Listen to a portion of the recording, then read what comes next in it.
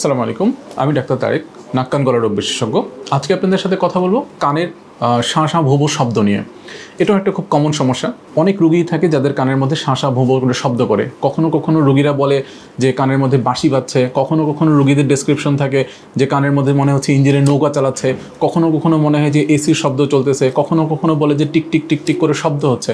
তো এই ধরনের বিভিন্ন রোগীর বিভিন্ন ধরনের প্রেজেন্টেশন থাকে। এক একজন এক এক ধরনের কমপ্লেন নিয়ে আসে। প্রশ্ন হচ্ছে যে এটা কি কারণে হয়? দুঃখজনক হলেও সত্যি যে এটার অনেক কারণে এখনও পর্যন্ত মেডিকেল সায়েন্স আবিষ্কার করতে পারেনি। এখনও চেষ্টা চলছে কি কারণে হয়। তবে যেগুলো কমনলি হয়ে থাকে, যেমন প্রথম হচ্ছে কানের মধ্যে যদি আপনার অনেক বেশি ময়লা জমে থাকে ইম্প্যাক্টেড ওয়াক্স যদি অনেক বেশি ময়লা জমে কানটাকে বন্ধ করে রাখে, কানে আপনার শাঁসা ভোব শব্দ হতে পারে। যদি আপনার শ্রবণ শক্তি কমে থাকে, কোনো কারণে যে আপনার কানে কম শুনতে পাচ্ছেন, তাহলে যেটা হয় বাইরের থেকে শব্দ আপনি না শুনতে পারার কারণে ব্রেনের ভিতরে আমাদের কিছু চুলের মতো সেল থাকে, কানের ভিতরে। তো ওই সেলগুলোর মুভমেন্টটা তখন কানের মধ্যে লাগে। সো শ্রবণ শক্তি যখন কমে যায়, তখন বাইরের শব্দটা না শোনার কারণে ভেতরের শব্দগুলো আপনাকে ডিস্টার্ব করে।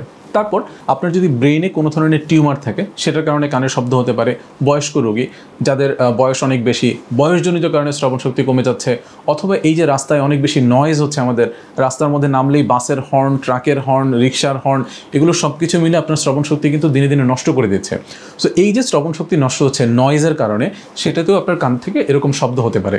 তারপর আপনার রক্তের চাপ যদি অনেক বেশি থাকে ব্লাড প্রেশার থাকে, আপনার যদি কোলেস্টেরলের মাত্রা অনেক বেশি থাকে দ্যাট ইজ হাইপার লিপিডিমিয়া থাকে আপনার যদি হাইপোথাইরয়েডিজম থাকে থাইরয়েড হরমোনের সমস্যা থাকে, তাহলে আপনার কানে শব্দ হতে পারে। সো এগুলো হচ্ছে জানা কিছু কারণ যেগুলোতে কমনলি রোগীদের কানের শব্দ নিয়ে প্রেজেন্ট করে। কিন্তু অনেক কারণই থাকে যেটা এখন পর্যন্ত মেডিকেল সায়েন্স আবিষ্কার করতে পারেনি। কিন্তু চেষ্টা চলছে যে ভবিষ্যতে হয়তো আরও কিছু কারণ চলে আসবে। আমি যেগুলো বললাম, এগুলোর বাইরেও কিছু কিছু কারণ থাকে। এখন এটার ট্রিটমেন্ট কীভাবে হবে? ট্রিটমেন্ট ডিপেন্ড করে আপনার কারণ বের করার উপরে। আপনি যদি একজন নাক কান- গলার ডক্টর দেখান, তাহলে উনি দেখে বুঝতে পারবে যে আপনার কানে কী সমস্যা আছে।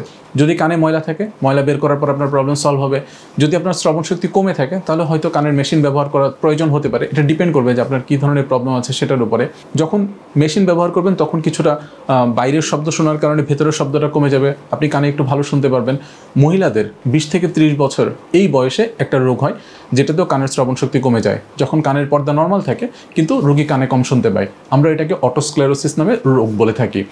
এই রোগীর ক্ষেত্রে রোগীর কানের হাড়গুলো ফিক্সড হয়ে যায়। বিশেষ করে স্টেপিস নামে একটা হাড্ডি থাকে, যেটা নড়াচড়া করে না। আমরা যখন কথা বলি কিংবা আপনি যে আমার কথাটা শুনতে পাচ্ছেন, এখানে একটু খেয়াল করলে দেখতে পারবেন।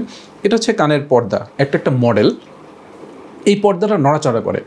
তো এটা আমরা সবসময় বুঝতে পারি না, কিন্তু এটা নড়াচড়া করছে। এটা আল্লাহ প্রদত্ত জিনিস, এটা নড়াচড়া করছে। এটা নড়াচড়ার কারণে এই যে হাড়গুলো থাকে, এগুলো মুভ করে। কিন্তু এই যে অটোস্ক্লেরোসিস যে রোগটা বললাম মহিলাদের ক্ষেত্রে হয় এই রোগে এই হাড়টা ফিক্সড হয়ে যায়। এটা নড়াচড়া করে না। যার কারণে এদিকে নড়াচড়া থাকলেও শব্দটা ভেতর পর্যন্ত পৌঁছায় না।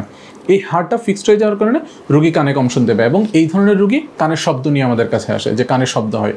সো তাদের ক্ষেত্রে ট্রিটমেন্ট হচ্ছে যে এটা অপারেশন করে ফেলা। অপারেশন করলে দেখা যায় তাদের ক্ষেত্রে ম্যাক্সিমাম ক্ষেত্রেই শ্রবণ শক্তিটাও ইমপ্রুভ করে এবং মোটামুটি কানের শাঁসা ভোব শব্দটাও কমে যায়। তা সো আপনি যদি কারণগুলো খুঁজে বের করতে পারেন দ্যাট ইজ আপনি যদি ডক্টরের কাছে যান, উনি যদি কারণগুলো বের করার জন্য হয়তো কখনো কখনো আপনাকে কিছু পরীক্ষা নিরীক্ষা দিতে পারেন। যেমন আমরা কমনলি কানের হেয়ারিং টেস্ট করে থাকি। এই যে অনেকগুলো কারণ বললাম, তার মধ্যে ডায়াবেটিস প্রেশার কোলেস্টেরলের সমস্যা থাইরয়েডের সমস্যা, তারপর হচ্ছে ব্রেনের সমস্যা, অনেকগুলো সমস্যা বললাম। এগুলো, এই সমস্যাগুলো পরীক্ষা না করলে তো ধরা পড়বে না। সো পরীক্ষা করে আপনার ডক্টর আপনার কারণ খুঁজে বের করার চেষ্টা করবেন, সেই অনুযায়ী আপনাকে ট্রিটমেন্ট দেবেন। কারণ খুঁজে বের করে ট্রিটমেন্ট দিলে আপনার রেসপন্সটা ভালো হবে। একটা অ্যাডভাইস দিয়ে রাখি, সেটা হচ্ছে যে এই শব্দটাকে নিয়ে আপনি যত বেশি টেনশন ফিল করবেন, যে শব্দটা আপনাকে খুব বেশি বিরক্ত করছে, এই টেনশনটা আপনার কানের শব্দটাকে আরও বেশি বাড়িয়ে দিবে। সো যতটুকু সম্ভব যেটা অ্যাডভাইস করব, সেটা হচ্ছে এটা নিয়ে খুব বেশি অ্যাংশাস হবেন না, এটাকে অ্যাকসেপ্ট করে নেবেন। প্রয়োজনে ডক্টরকে দেখাবেন। ডক্টর যদি বলে থাকেন যে আপনার এটাতে কোনো কারণ খুঁজে পাওয়া যাচ্ছে না তাহলে এটা খুব বেশি প্যানিক হবেন না। যত বেশি আপনার অ্যাংজাইটি বাড়বে, তত বেশি কানের শব্দ বাড়বে। সো আশা করি আমার পরামর্শগুলো মেনে চলবেন। আর প্রয়োজন অনুযায়ী ডক্টরের পরামর্শ নেবেন। ভালো থাকবেন, আসসালামু আলাইকুম।